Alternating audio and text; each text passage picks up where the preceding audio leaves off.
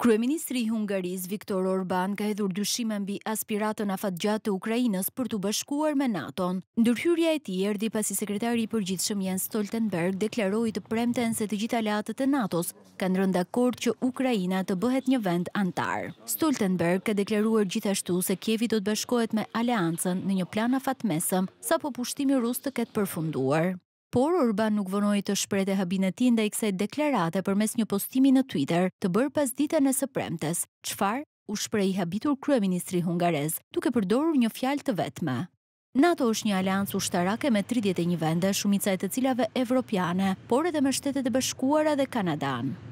Hungaria, si çdo shtet anëtar, ka të drejtën për të vendosur veto ndaj anëtarësimeve të reja. Aleatët ranë dakord në vitin dy mijë e tetë, që Ukraina të bashkohet me Aleancën, edhe pse i mohuan anëtarësimin e menjëhershëm.